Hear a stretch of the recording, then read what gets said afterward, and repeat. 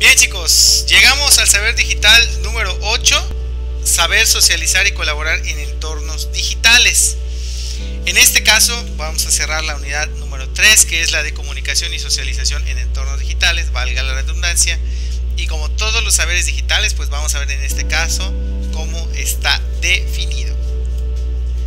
Bien, en este caso se refiere al conjunto de conocimientos y habilidades orientadas a la difusión de información a través de blogs o microblogs, interacción social en redes sociales como Facebook, Twitter, Instagram y todas las que ya han salido a, partir de esas redes sociales. Eh, tener un poco de presencia en la web, es decir, desde el hecho de que nosotros indiquemos que algo nos gusta, reaccionemos con un me divierte, me encanta eh, y todo lo demás, ya nosotros estamos teniendo presencia en la web. Hacer comentarios en servidores de medios o blog, marcado social, entre otras cosas. Y al trabajo grupal, por ejemplo, mediado por la web. Plataformas de colaboración, por ejemplo, como Google, como Google Docs o entornos virtuales de aprendizaje como Moodle y Emimus. Bueno, pues de todo esto que hemos estado viendo o de estas cosas que aparecen en esta definición del saber digital, nos vamos a enfocar más en la parte del trabajo grupal mediado por la web, ¿sí? Ya que pues la presencia en las redes sociales es algo de lo que hemos estado hablando anteriormente y de la interacción social, obviamente pues la difusión de la información. En este caso, eh, eso no significa que no vamos a estar hablando de lo anterior, sino que la práctica del saber se va a enfocar en, en esto del trabajo grupal mediado por la web. ¿Ok? Eso es en cuanto a la definición del saber digital. Y ahora vamos a ir platicando acerca de algunas ideas y algunos conceptos que son relevantes para este saber digital. Algo que ya habíamos platicado en un inicio, pero que vale la pena recalcar, es acerca de la cultura digital en la que nosotros vivimos. Ya desde hace 25 años o más, hemos estado inmersos en una intensa revolución tecnológica que de modo incesante continúa un proceso de expansión y generalización de los, del uso de dispositivos digitales en todas las esferas de la vida social. Y es algo que hemos recalcado mucho pues aquí en esta asignatura de saberes digitales, ¿no? Como la cultura digital, el uso de los dispositivos y todo lo que tiene que ver con el mundo digital, pues va afectando cada vez más nuestras actividades sociales, nuestras actividades educativas, nuestras actividades laborales, entre otras. El avance tecnológico en relación con la telefonía móvil y el cómputo dio lugar a la creación de tecnologías como laptops, tabletas, teléfonos inteligentes que todos nosotros conocemos, cuyas características principales son la portabilidad, la hiperconectividad y la ubicuidad, conceptos que igual ya hemos definido anteriormente, y que favorecen el uso, de redes sociales desde cualquier lugar donde se tenga una conexión a Internet. La búsqueda de información y la construcción de una identidad digital a partir de fotos, comentarios, lugares visitados, gustos y contactos. Es decir, la gente a partir de sus dispositivos móviles y a partir de lo que estos les permiten hacer, se va construyendo pues justamente una identidad digital. Es decir, el, estilo de cosas que compartimos, eh, las fotos, los comentarios, la forma en cómo interactúo, eso me genera una identidad digital. Esta revolución tecnológica también ha dado lugar a, un a la nueva cultura digital, que provisionalmente podemos definir como aquella que comprende el conjunto de referentes, técnicas, prácticas, actitudes, modos de pensamiento, representaciones sociales y valores que se desarrollan en torno al ciberespacio y del uso masivo de las computadoras y dispositivos digitales. Ahora, hablando específicamente de las redes sociales, estas han favorecido el consumo y la consolidación de ideologías dominantes que dan lugar a dinámicas sociales estandarizadas a nivel global. Y bueno, eh, aquí tampoco se trata de que nosotros entremos, entremos en polémica ni nos pongamos a discutir acerca de qué es correcto o qué no es correcto. Sin embargo, sí quisiera subrayar algunos ejemplos que me llaman la atención de ideologías pues que a través de las redes sociales han tomado cada vez mayor fuerza. Y una de estas, por ejemplo, podría ser eh, pues lo que vivimos durante este mes, ¿no? Este mes que es el mes del orgullo, eh, vemos como no solamente las redes sociales, sino todas las marcas, todas las empresas se van impregnando pues con estos colores, ¿no? En favor de la comunidad, este, no sé cómo se dice, pero ya saben de qué estoy hablando.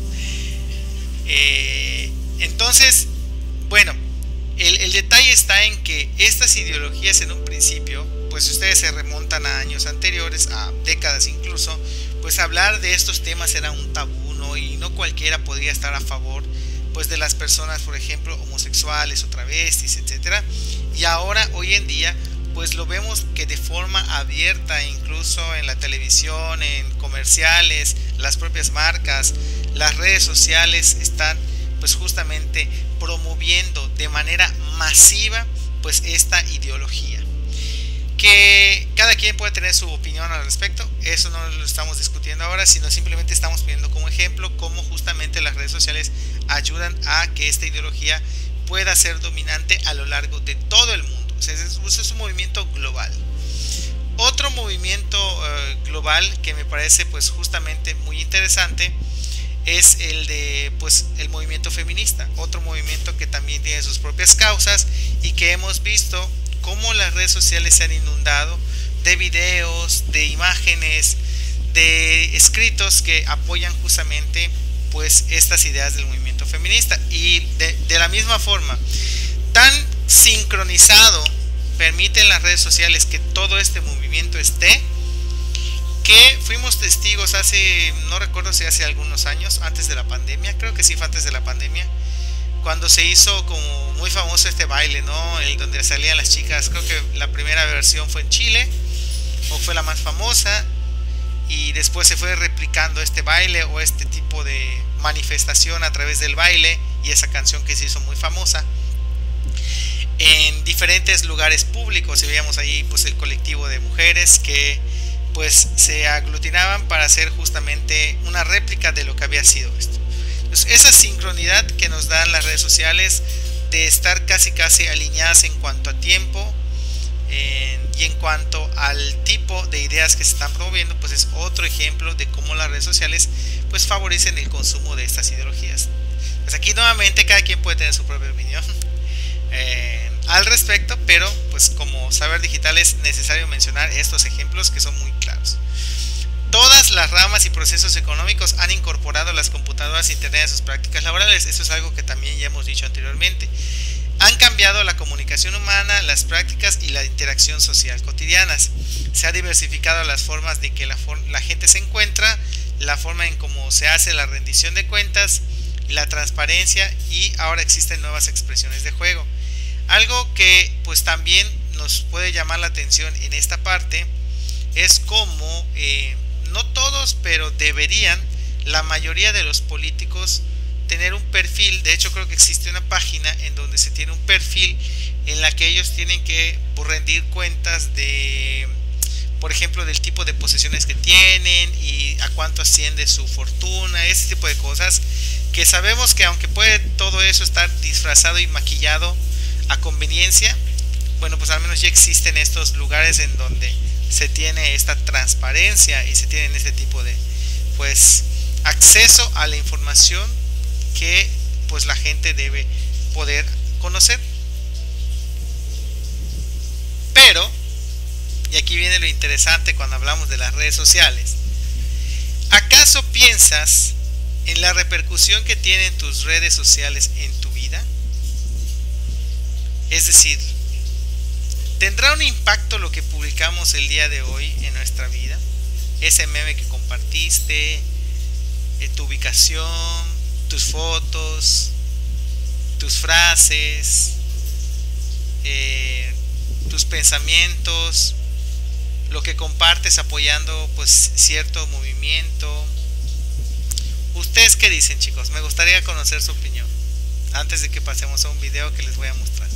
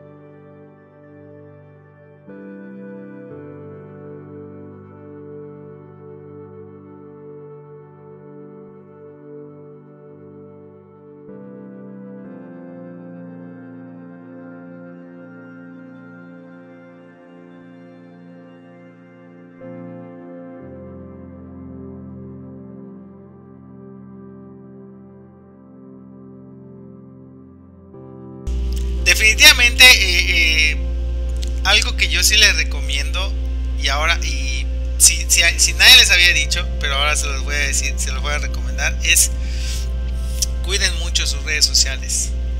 Cuiden mucho las redes sociales en el sentido de em, no solo de lo que publican hay decir algo muy importante. Hace cuánto tiempo que no configuras la seguridad de tus redes sociales tanto en los permisos que le damos nosotros a las páginas que pueden publicar en nuestro nombre, como en, no sé, a veces te metes a esas páginas de juego de Facebook, ay sí, qué bonito, vamos a jugar, adivina qué estado de la República serías, o adivina qué comida serías de acuerdo con, de acuerdo con tu foto, ¿no? O qué sé yo, de esos tests que hacen que te rías un rato, pero que de momento no nos fijamos que vulneran la seguridad de nuestras cuentas. Bueno, pues ahí les recomiendo que sea una vueltecita algún día por la seguridad de sus redes sociales e investiguen. ¿Quién es eh, Roberto Ruz? La persona que ustedes van, están viendo en fotografía fue el, el creador justamente de la organización Responsabilidad Digital y pues es el autor de Eres lo que publicas. Eres lo que publicas es un movimiento, es un esfuerzo importante en español en favor de la prevención y el uso responsable y aprovechamiento de las redes sociales. Ha recorrido México y Latinoamérica impartiendo más de 650 conferencias en instituciones educativas, empresas, ONGs y gobiernos. Obtuvo un premio internacional en la Cumbre Mundial de la Juventud de Sri Lanka, auspiciado por la UNESCO. También ha recibido el Premio de la Juventud en México, Mercadólogo del Año en 2016 y Mérito Académico por la Universidad Autónoma de Yucatán. Ha colaborado con más de 250 clientes, entre los que destacan Grupos Salinas, eh, Walmart, México, Centroamérica, Citibanamex, Gobierno del Estado de México, Tecnológico de Monterrey, UNAM, cientos de colegios, entre otros. Si algún día tienen la oportunidad de escuchar alguna de sus conferencias o de entrar a ver o seguirlo en sus redes sociales, les va a gustar mucho su contenido. La verdad es que bastante, bastante padre. Y las cosas que dice, bueno, dentro de la pequeña probeta que pudimos ver en ese video. Ahora, dejando a un lado ya las redes sociales, es importante también hablar de la parte educativa, cómo, cómo impacta la cultura digital en el ámbito educativo. Eh, ya habíamos mencionado igual anterioridad que todo ha cambiado desde la manera en cómo nosotros actualmente interactuamos, que todo es ahorita en línea, la manera en cómo aprendemos, cómo producimos y difundimos el conocimiento, pero sobre todo esta última parte, ¿no? Cómo producimos y difundimos el saber o el conocimiento. Entonces, tanto el rol del maestro como el del estudiante, la escuela y todos los procesos han estado siendo transformados con la incorporación de nuevas tecnologías. Los recursos de aprendizaje se están modificando en todos los niveles educativos. La comunicación entre pares y docentes se da en línea. Las tareas y proyectos se trabajan y entregan en formato electrónico, pues como lo hemos estado haciendo en este curso. Y cada día es más frecuente el libre acceso a los bienes culturales que antes eran difíciles de tener o muy exclusivos. Bueno, de esto igual ya habíamos hablado. La enseñanza se ha modificado con la utilización de simuladores, con libros, antologías accesibles en formato digital, particularmente en instituciones de educación superior. ¿no? Eh, hay un mayor dinamismo en el cambio tecnológico que pues pasa por varias disciplinas académicas donde el desarrollo del software especializado y las fuentes de información son más diversas, específicas y numerosas. Para nosotros chicos pareciera algo o sea, y de verdad se los digo, pareciera algo muy común que pues la información la hemos tenido ahí todo el tiempo. Es decir, pues si tú tienes una duda hoy en día de lo que significa algo, para qué sirve algo, cómo se construye algo, cómo se prepara algo, tan fácil como que agarres un dispositivo móvil, entres a tu navegador, entres a tu motor de búsqueda favorito y hagas y realices la, la búsqueda que necesitas para despejar esa duda o encontrar el tutorial que te puede ayudar a realizar algo. Pero esto chicos, antes del que les gusta 2000, era una situación poco común. Tenían internet escasas personas en la ciudad. Y no porque el internet fuera caro, sino porque el internet no era muy común.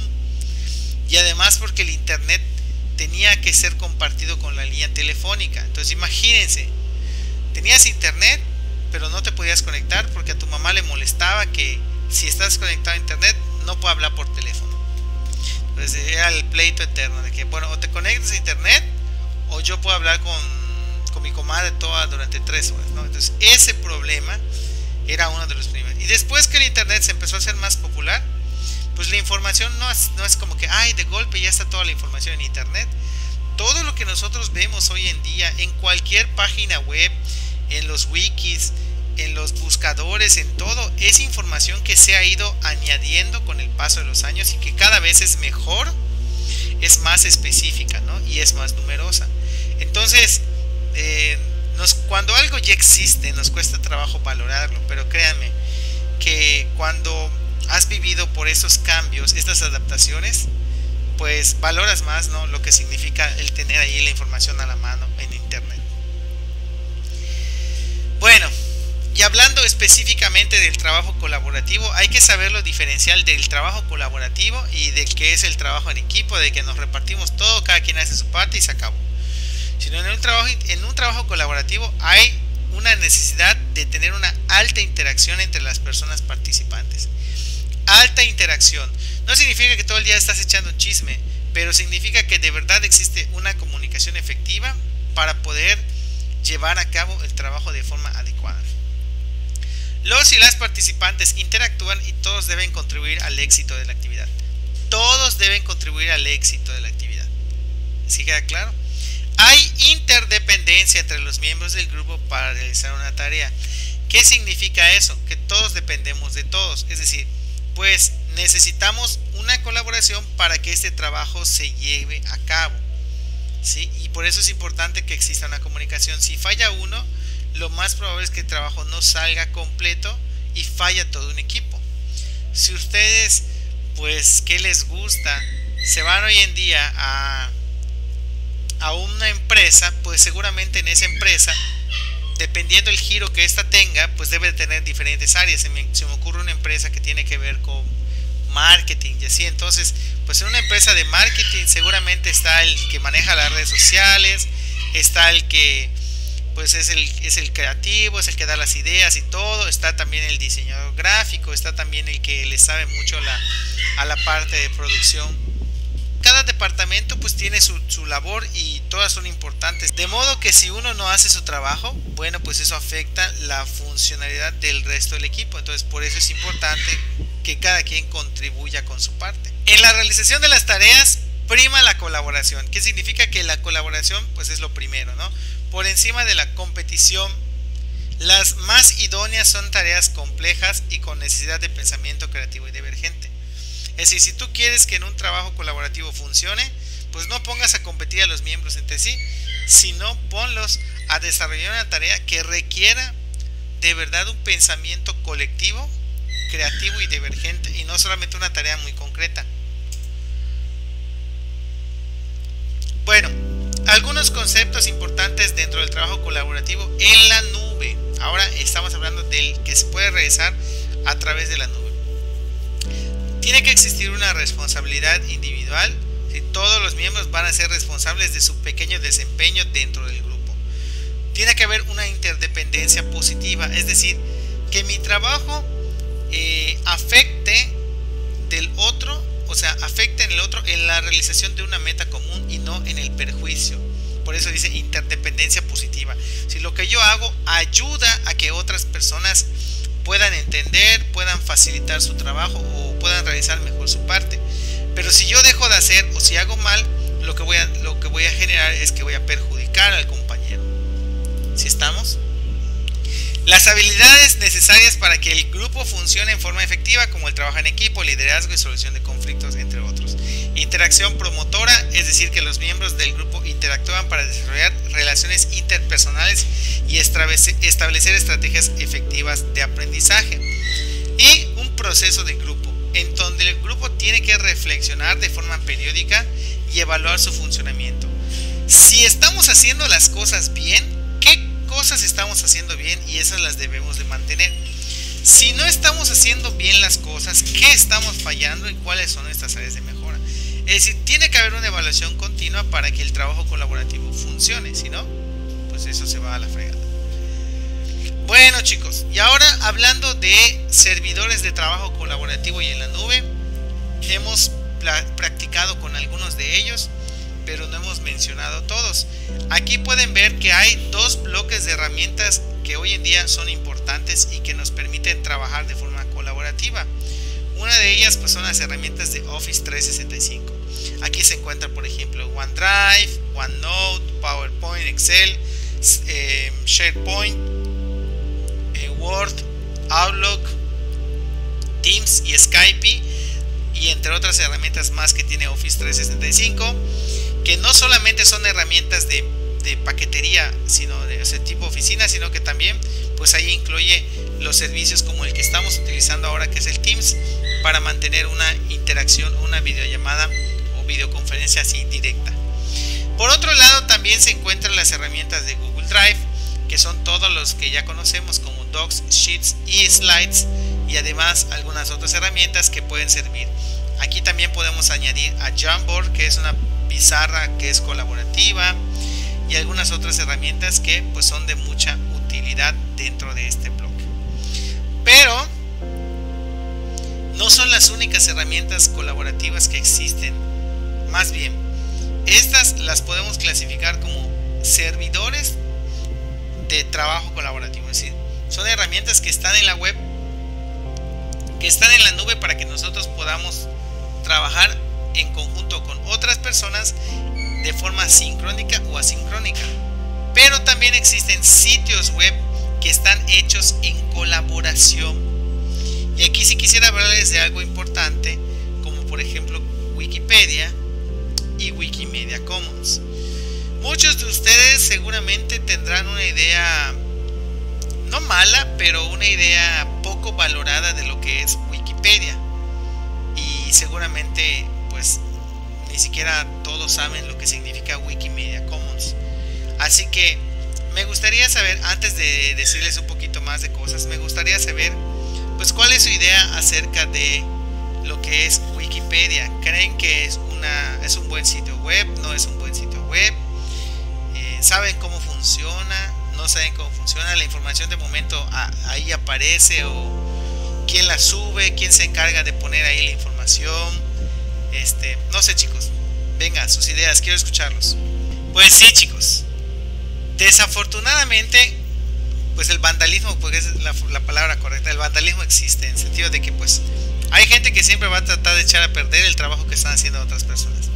Y Wikipedia, ah, para mí Wikipedia es una de las fuentes Em, si no le puedo llamar 100% confiable por esos pequeños detalles que ustedes están mencionando, pues para mí se me hace una de las fuentes de conocimiento más valiosas en el mundo, dado que es un aporte de muchas personas que de verdad quieren compartir su conocimiento con el mundo. Es la enciclopedia en línea más grande que existe. De, más grande que Wikipedia no hay. Es la enciclopedia más grande que existe en el mundo. Y además de estar en varios idiomas, alberga información infinita, o sea, un montón de información y, todavía falta información por que se pudiera agregar. Es un sitio que, como bien han dicho ustedes, eh, se puede crear a través de artículos. Normalmente son artículos. Tú vas agregando un artículo o vas mejorando un artículo o vas editando un artículo en el sentido de que puede haber que alguien haya escrito una información que sea pues incorrecta, ¿no?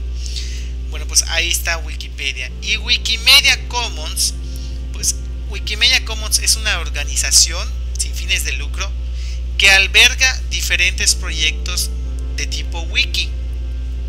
Un espacio wiki es un espacio de colaboración, ¿sí? Y entonces, además de Wikipedia, existen otros espacios de colaboración que tienen información específica como la que les había comentado en la práctica del saber número 6, eh, que pues ahí pueden ustedes encontrar información y descargar información. Así que lo que vamos a hacer ahora es hablar, o vamos a irnos a la página de Wikipedia, vamos a ver un poquito cómo funciona y también vamos a ver cómo funciona esto de Wikimedia Commons. Bueno, al menos por la presentación ya quedó hasta aquí.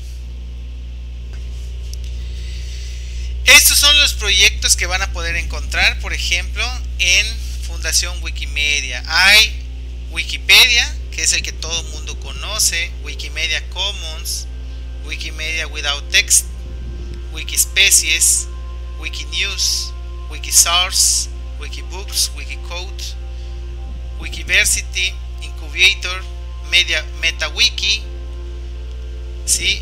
Wikivoyage, MediaWiki, y son algunos proyectos en los que ustedes pueden encontrar. Por ejemplo, en Wikimedia Commons, ¿qué pueden encontrar? Pueden encontrar imágenes, videos, audios, ¿sí?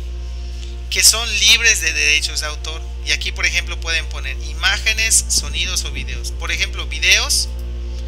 Y hay gente que sube sus videos de verdad sin el afán de lucrar, con el afán de compartir y que les pueden ser de utilidad a otras personas. Voy a poner un ejemplo, ¿no? Este, o sea, también aquí tienen que ver ustedes las dimensiones, ¿no? Aquí dice eh, las dimensiones, el peso más o menos. Este es en Full HD. Vean eso.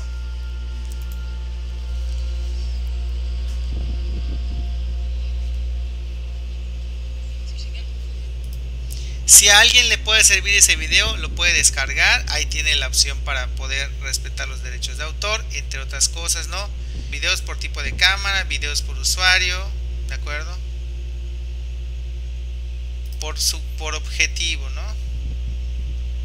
Videos con, sin audio, videos sobre niños, por ejemplo, aquí, videos culturales,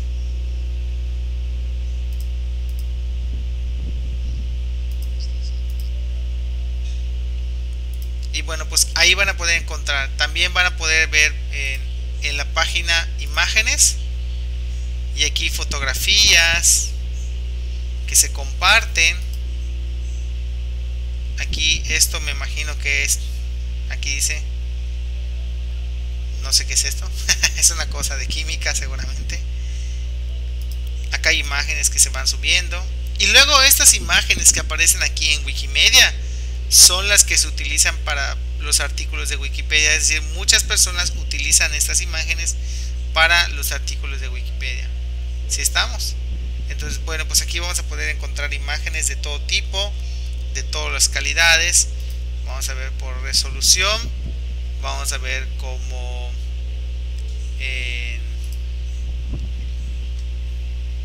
por ejemplo, de alta resolución y aquí vamos viendo algunas, ¿no? Vean esas cosas. Padrísimas. Y bueno, imágenes que podemos utilizar sin ningún problema. Este proyecto es de colaboración, es decir, cada persona puede subir sus propios recursos. Les voy a mostrar, por ejemplo, tengo una cuenta aquí. Y pues mi intención es ir subiendo poco a poco mis imágenes. Contribuciones del usuario y esta es una que subí hace poquito.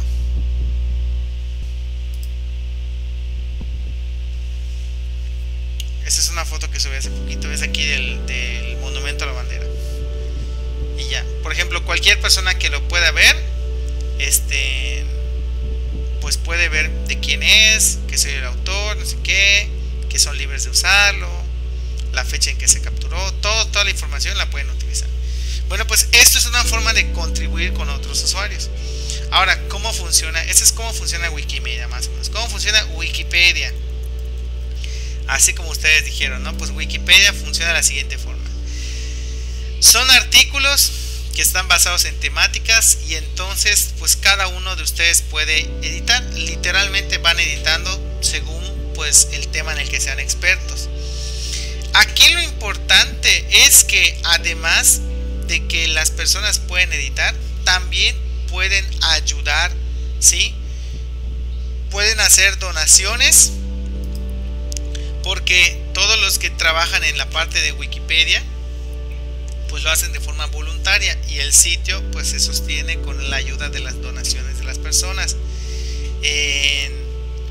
pueden ver cuáles son los cambios recientes, el portal de la comunidad, las herramientas, información de la página. Aquí está en otros idiomas. Y algo que me gusta mucho, donde está, por aquí debe estar. Bienvenidos a la enciclopedia en la que todos pueden editar. Pero si tú le das clic acá, te dice, bueno, ¿cómo puedes editar? Pues el editor visual es este. Hay otro que es el Wikitexto, que es otra forma de editar. ¿De acuerdo? Acá tenemos como que las políticas, el manual de estilo, videos tutoriales, asistente para creador de artículos, editar, referenciar imágenes, tablas, o sea, te dicen cómo hacer cada una de las cosas. Ahora, algo importante dice, casi cualquier página puede ser editada por cualquier persona y ahora se realizan cientos de cambios para el contenido, corregir errores o mejorar la legibilidad. Cualquier cambio que hagas es visible inmediatamente y por trivial que parezca la edición, puedes sentir la satisfacción de haber ayudado a hacer lo que Wikipedia es. ¿De acuerdo? Entonces, cuando ustedes tengan la oportunidad, o sea, y de verdad se los digo, cuando ustedes tengan la oportunidad, este, y puedan hacerlo, pues háganlo, chicos. O sea, vamos a poner aquí en Wikipedia, ¿qué vamos a buscar? No sé, sólidos de revolución. Miren, es un tema del cual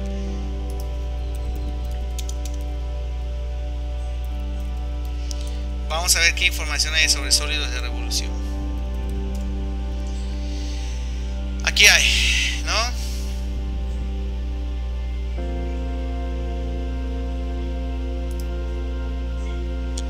dice que es un sólido de revolución, me da algunas imágenes, cómo se forman. Y literalmente si yo quisiera puedo editar. Me dice cambiar el editor visual. Puedo editar así directamente o puedo editar el, el editor de código. Cualquiera de las dos. ¿Se acuerdan de eso? Ya habíamos hablado un poquito de editor de texto. Editor de texto YCWine, que es donde lo que yo digo es lo que quiero decir. O editor de texto YCY, que es lo que yo estoy viendo, es la forma en cómo va a quedar editado. Y literalmente yo podría hacer cualquier cambio aquí y agregar. Y lo que decía su compañera hace ratito. O sea, aquí está la información, pero lo que me gusta más de esto es que además pues existen las referencias. No todos los artículos tienen muchas referencias, pero sí. O sea, esta información está tomada del libro de Weinstein. Entonces, no es como que, ah, bueno, pues me lo saqué de la manga, sino que pues además de eso hay un enlace externo al sólido de revolución que esta, esta que ustedes están viendo aquí está tomada de Wikimedia, o sea, todas las imágenes están tomadas de Wikimedia. Y bueno, pues ahí tienen ustedes la opción de citar, se abre un editor de texto en la nube y pueden ir editando. Pues cuando tengan la oportunidad, chicos, de verdad, de hecho se hacen los editores, eh, no me acuerdo cómo les llaman, son como que los, eh, como maratones de edición, que dicen, bueno, en esta fecha vamos a estar editando muchas personas, así que únete al wiki editor, wiki editor, no hagamos una cosa.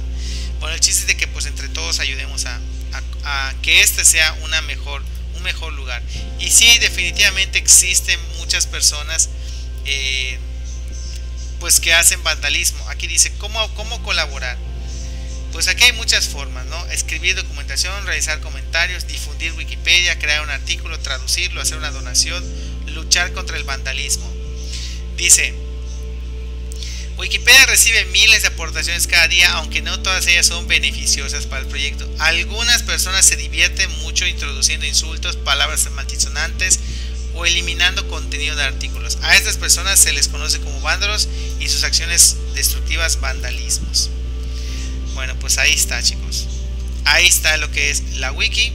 Es un lugar libre para todos y bueno, pues espero que algún día se vayan interesando más por esto y seguro es la forma en como el conocimiento va a poder eh, primero de forma libre y de forma gratuita va a poder permanecer durante muchos años más en el internet